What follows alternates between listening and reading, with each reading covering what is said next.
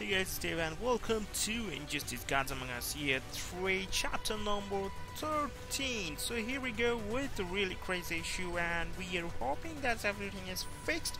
Superman is dreaming about I don't know why he just started dreaming but it's already started because so am I gonna I'm gonna read the review from comicvine.com in that time you can enjoy this comics review. We all know what caused Superman to distract, drastically change who he is and what he stands for, but what would happen if that critical moment played out differently?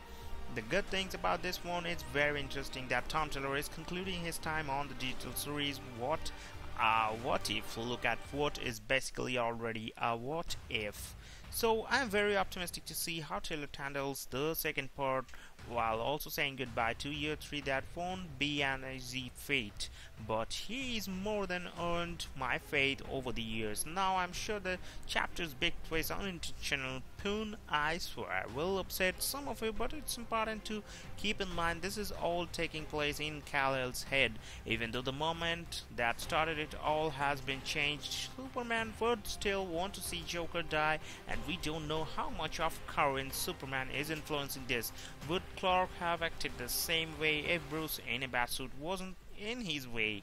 Honestly, I'm not sure, but I'm leaning towards no since the situation has been so drastically altered. It doesn't change the fact that deep down he would still want to see the clown prince of crime dead for his, this. He likely wouldn't follow though but the desire would be natural and this was an interesting way of having Clark still get what he wants. After all this, that Superman has done and just how far he has gone, you can't help but feel your heart warm just a bit as he finally gets to hold Lois on last time. There's a lot I could praise about Bruno Redondo, Juan Albarrán, Xermanico, and Rex Lokus, from shading his face at just the right moments to the colorful yet not too bright appearance to his huge variety of believable and lively expressions. This villain was without question the most eye-catching part of this chapter so Gregg Katzman have given a really nice review about this one so some